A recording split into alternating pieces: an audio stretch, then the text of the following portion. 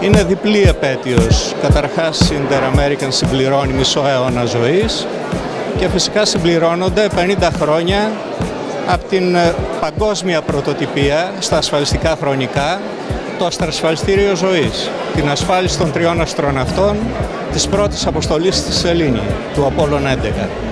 Ήταν εντυπωσιακό, ε, πιστεύω ότι ήταν μοναδικό από την πλευρά της χορηγίας, γιατί προφανώς υπήρχε μια ασφαλιστική κάλυψη ε, μέσα από τη μέρημνα της ΝΑΣΑ για τους αστροναύτες και για τις οικογένειές τους.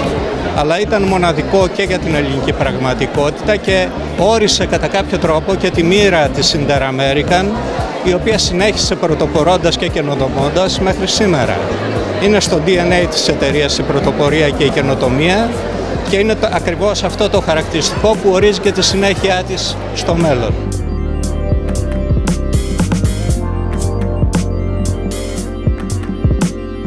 Μιλάμε για μια εκδήλωση η οποία στην ουσία επιβεβαιώνει την προοπτική που είχε η Inter-American πριν από 50 χρόνια. Όταν εγώ ως εκπρόσωπος τότε μιας αθηναϊκής εφημερίδας ήμουν παρόν στην εκτόξευση του Απόλλωνα 11 που έγινε πριν από 50 χρόνια και μερικές ώρες σαν σήμερα δηλαδή το πρωί γύρω στις 9.30 η Inter-American είχε ήδη ασφαλίσει τους τρεις αστροναύτες για ένα ποσό το οποίο φαίνεται με γελίο σήμερα, 10.000 δολαρίων, αλλά που τότε ήταν μια καταπληκτική ιδέα, διαφημιστική κατά κάποιον τρόπο. Με αυτό λοιπόν το σκεπτικό, σήμερα γιορτάζουν αυτά τα 50 χρόνια και Inter-American, αλλά με την ευκαιρία και εμείς στο πλανητάριο, γιατί μετά από την εκδήλωση θα έχουμε την ευκαιρία να παρουσιάσουμε στους επισκέπτες μας μια παράσταση για όλη αυτή την δραστηριότητα της,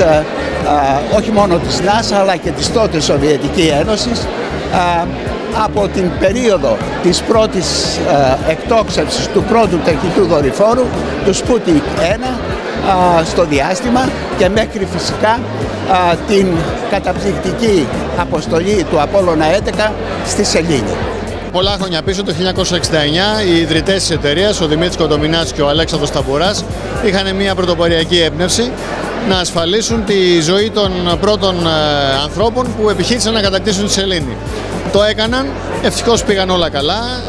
ε, κατακτήσαμε τη Σελήνη και επέστρεψαν όλοι οι σόοι και έτσι σήμερα έχουμε και στο αρχείο μας μια ευχαριστήρια επιστολή από τον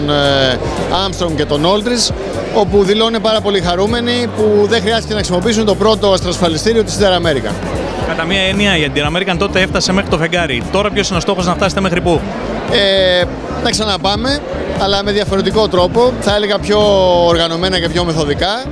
κοιτώντας πόσο καλύτερα μπορούμε να κάνουμε τη δουλειά μας στην Ελλάδα, αλλά και σε γειτονικές περιοχές.